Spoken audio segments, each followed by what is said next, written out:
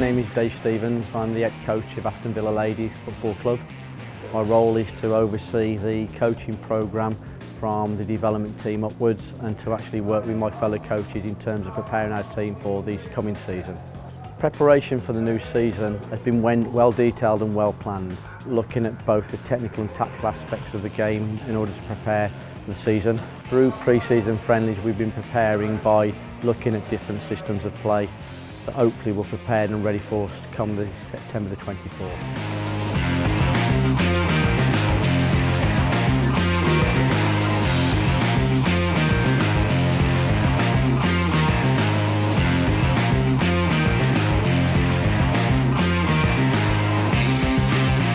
There's been quite a fair bit of transition. Um, obviously, you've seen new coaching staff coming. So Ian Sankey's come in as the first team head coach. Kareem Mitchell's come in as head of coaching and Carly Davis has come in to actually uh, oversee the development squad. Um, there's been transition both the coaching staff and also the playing staff as well. We've obviously uh, had some of our sort of uh, players leave us to go off to America but what we've actually managed to do is successfully recruit um, a very vibrant development squad which will hopefully fuse and if you like um, add value to our first team infrastructure.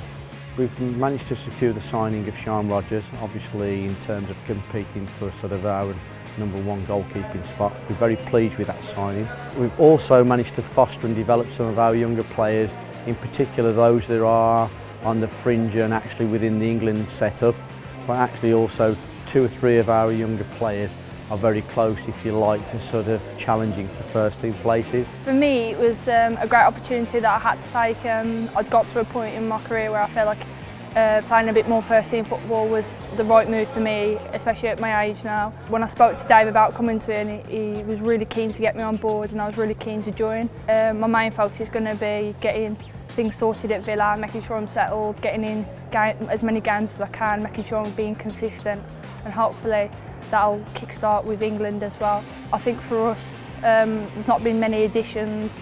There's only really been myself that's joined, so it's still quite a core group, which I think is quite good in a way, because obviously it's not going to take that much time for us to get to know each other. But for me, um, as soon as I came straight in, I just wanted to get to know my, my back line as quickly as possible. Because obviously we need to be um, as tight as anything when we go into our first game and for the rest of the season as well. Both Kareem and Carly have played for the football club.